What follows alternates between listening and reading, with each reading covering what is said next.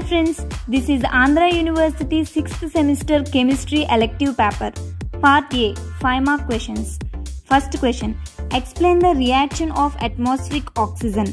Second question Write a note on non renewable resources. Third question Discuss the classification of air pollutants. Fourth question Write a note on dissolved oxygen. Fifth question Explain the suspended solids. Sixth question Explain the toxicity of lead. Seventh question Write notes on energy dynamics of ecosystem. Eighth Write a short note on food chain ecosystem.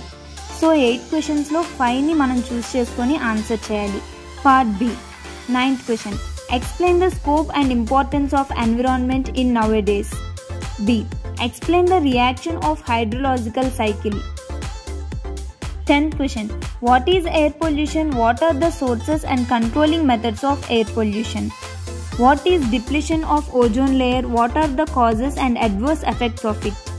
11th question What is water pollution? Explain the quality parameters of drinking water. B. Give a detailed account on industrial wastewater treatment. 12th question Write an essay on toxicity of cyanide and arsenic and their detoxification. B. Give a detailed account on pesticides and its biochemical effects.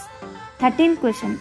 Explain the biochemical cycles of carbon, nitrogen, and phosphorus. B. Write an essay on biogeographical classification of India. Thank you.